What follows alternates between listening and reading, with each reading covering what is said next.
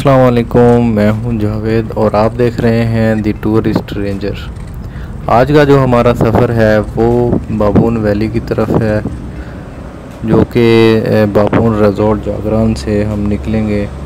यहाँ से जीप बहुत आसानी से मिल जाती है और रेंट जो है छः हज़ार से आठ हज़ार तक। मुख्तलिफ़ भी हैं, वो जीप का हिसाब, पेट्रोल की कीमत के हिसाब से है। उस टाइम क्या चल रही होगी जब आपने आना है?